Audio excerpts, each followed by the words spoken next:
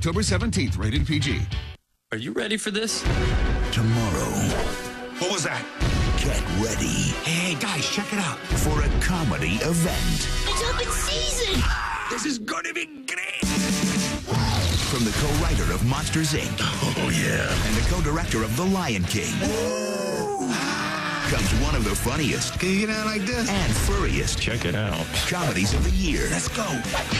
Open season. I'll take a piece of that action. Rated PG.